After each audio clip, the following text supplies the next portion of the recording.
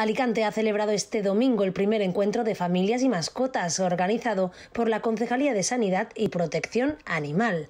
La jornada que ha tenido lugar en el Parque de la Antigua Cochera de Tranvías ha contado con actividades para los más pequeños, como talleres de pintura, pintacaras, globoflexia, así como charlas impartidas por la Sociedad Protectora de Animales y entrenadores caninos.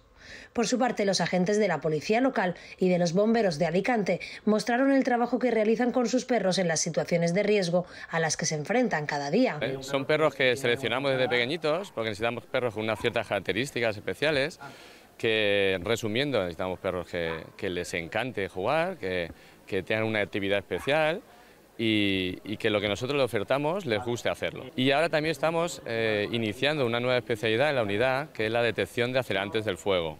Al final de la mañana, dos unidades caninas de la Policía Local de Alicante y el Servicio de Prevención y Extinción de Incendios del Ayuntamiento de Alicante realizaron varias demostraciones del trabajo diario a los asistentes. Partimos de que un perro policía eh, es un perro de trabajo.